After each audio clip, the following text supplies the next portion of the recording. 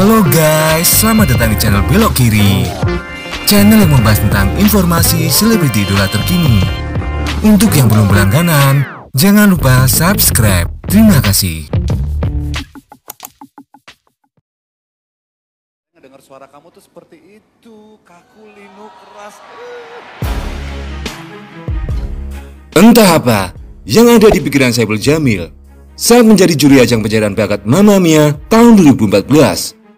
Pasalnya, pria yang akrab disapa Bang Ibul ini pernah melontarkan kritik pedas pada Claudia Emanuela Santoso yang mengikuti ajang tersebut.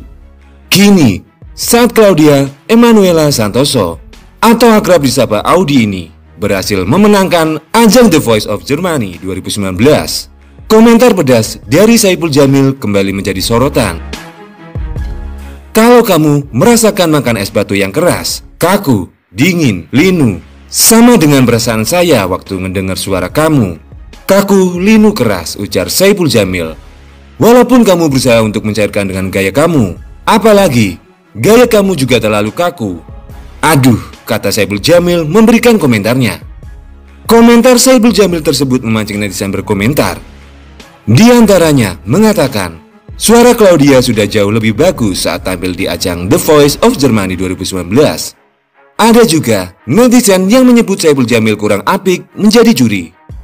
Diketahui, Claudia rupanya tak menyerah dan kembali mencoba mengikuti ajang pencarian bakat di Jerman dan menjadi juara pertama. Final The Voice of Germany yang berlangsung pada 10 November 2019 menjadi sesuatu yang spesial untuk bangsa Indonesia. Sebab Penyanyi asal Indonesia Claudia Emanuela Santoso berhasil menjadi juara pertama dari ajang pencarian bakat di Jerman ini.